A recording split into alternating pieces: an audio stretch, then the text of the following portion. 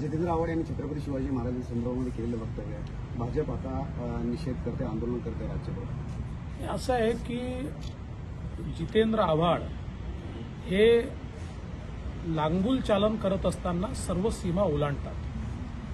हे ठीक आहे की त्यांचा मतदारसंघ हा अल्पसंख्याक बहुल आहे.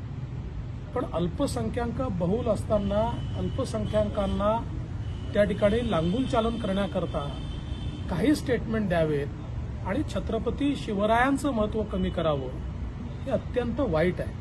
आणि त्याचं समर्थन करताना आता ते प्रभू श्रीरामांपर्यंत देखील पोहोचले आहेत ते महाभारतापर्यंत देखील पोहोचले आहेत.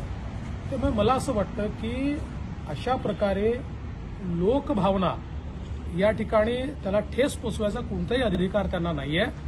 आणि अशा प्रकारे ते जर बोलणार असतील तर आंदोलन तर होईलच.